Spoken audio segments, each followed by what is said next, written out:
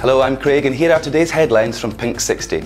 Queer rights campaigner Peter Tatchell has applied to get gay issues on the debate schedule at next month's Commonwealth Heads of Government meeting in Perth, Australia. 40 out of the 54 member states still ban homosexuality, but it's unlikely his application will make it through.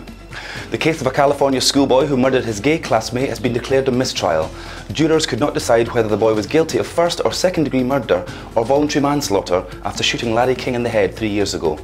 Stonewall UK have received approval from the Charities Commission to extend its work overseas.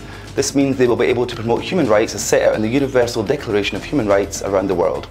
The body of a gay 35-year-old resort worker was found by Phuket police in Thailand on Friday.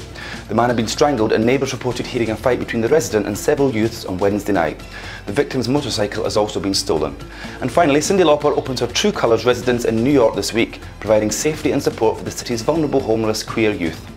The Star said that residents will be given low rent housing along with personal and employment support to help them turn their lives around. That's all from us today. Join us again tomorrow.